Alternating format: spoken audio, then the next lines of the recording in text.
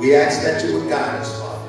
And Lord, I ask that you would bless me, Father. I ask that you would remove me out of self and hide me in the cross. Lord, I ask that the words of my mouth and the meditation of my heart be acceptable in thy sight, Father.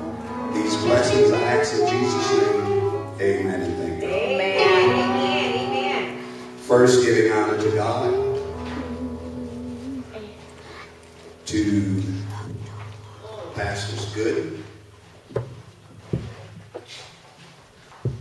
Bishop Osborne, Reverend Sears, Brother Borders, and all of the preaching brethren here, to all of your visitors and friends. It is indeed an honor to once again be found in the house of the Lord, where prayers can be answered and God's mercy can be found. I want to invite your attention to two passages of Scripture. The first scripture will be Isaiah 40th chapter, beginning at the 30th verse. I'm sorry, or excuse me. I'm not sorry, but excuse me. That's Isaiah, the 40, 40th chapter, and the 31st verse.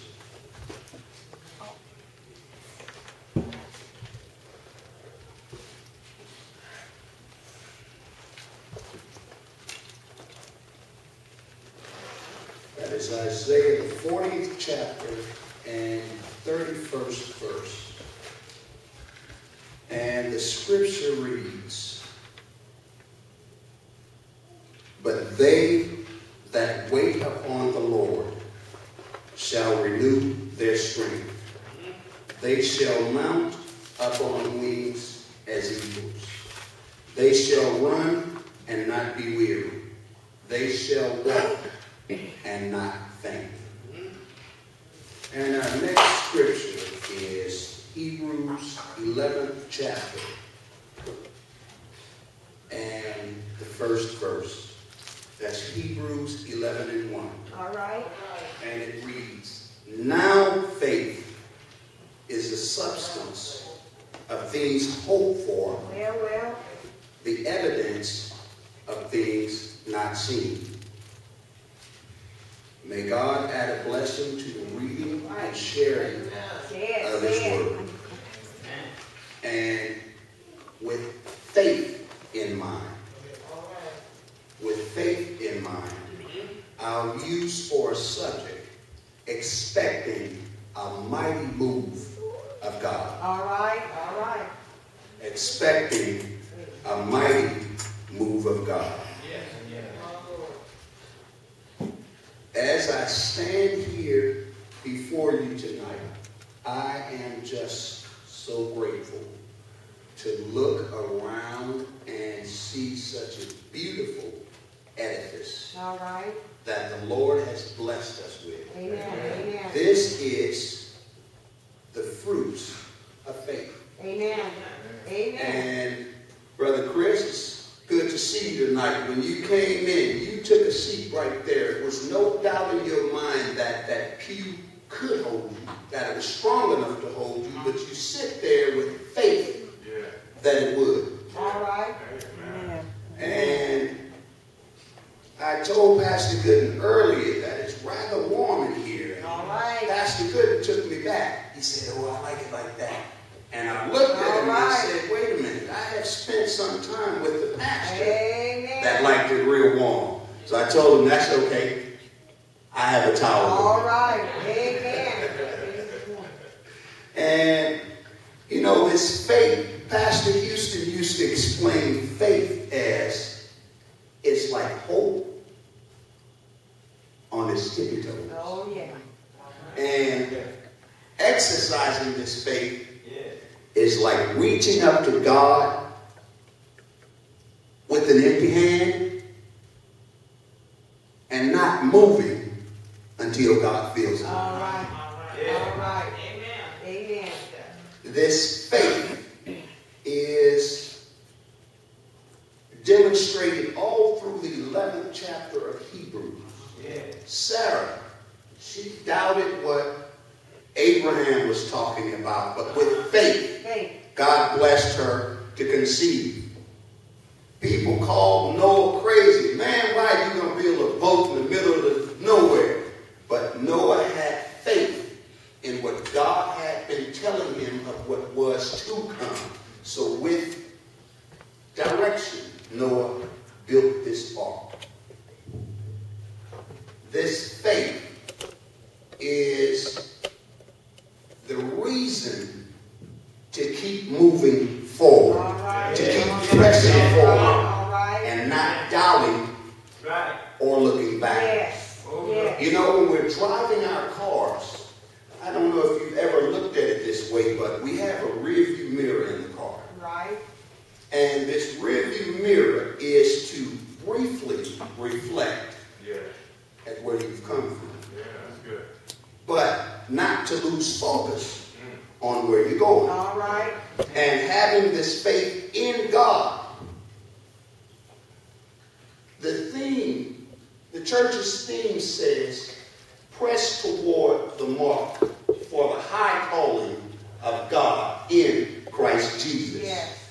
And that thing or the thing living free for God, this, this, this faith gives you the reason and the drive to continue moving forward. Now, as I go to my seat, I'll use a quick illustration of faith in God and how it works out. Well, well. God has blessed us to be in such a wonderful building.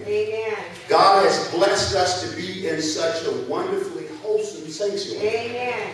Now, in this life, we're going to be confronted with everything. Amen. Oh, it's going to be people want to kick you out of the pulpit. Oh, yeah. Uh-huh. Bishop Osborne, if people don't want you here, oh, you know, right. I, I don't, I don't, I don't know if we want him here with us. He still wears his hair in the curve.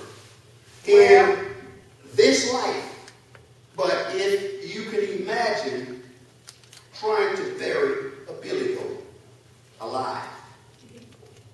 I see how you're looking at me. Bury a billy goat alive. Well, but that billy goat, you're going to have hatred that's going to come at you. And if you can see that billy goat in the bottom of the pit, as you throw dirt on it, that billy goat shakes it off and packs it down. You're going to go to churches where they don't believe in your ministry because they say the youngsters, they're too loud. They don't know no better. But the Bible says make a joyful noise. You're going to be confronted with these things, but you remember that billy goat? You throw dirt on it and you Yeah. shake it off and Yeah. pack it down. My wife and I just moved from Lakewood, but the devil is a lie. Yeah. To be here and we're here and the dope men are posted up a few as a few feet from Wow. the living room, the devil is a lie. But I understand that we need to go through some things to get to some things having faith. And with the same faith, if you can see a billy goat again, you throw some more dirt on him and he go shake it off and pack it down. And then having this faith and moving forward in God. You look at that billy goat after a while, you threw all this dirt on him, and he just shook it off and packed it down, and then you say, Well, Bishop, I, I, I thought we buried that fellow a long time ago. And the billy goat said, Nah. But he's overcome all of this.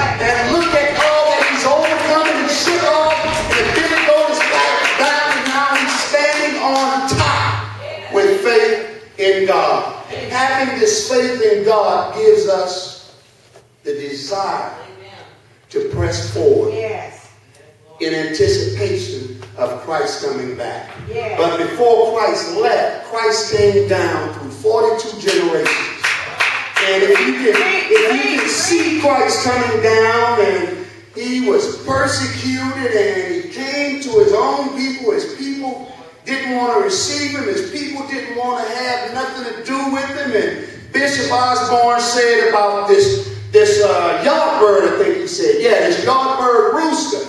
Christ told Peter, the rooster will cock three times.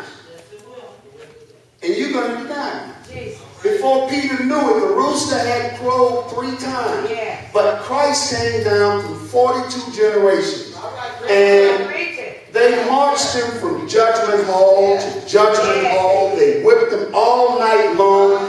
And they marched my Jesus up on a hill called Calvary. They hung him high, they stretched him wide. They put nails in his hands, they put nails in his feet, and somebody pierced him in his side. But there came forth a double flood, water and blood. After Jesus had spent this time on the cross, dying from the sixth to the ninth hour, they took him down and they laid him in a borrowed tomb. Jesus stayed there three days, but early, early Sunday morning, my Jesus got up with all power in his hand and said, Whosoever will, let him come and take up the waters of life freely. We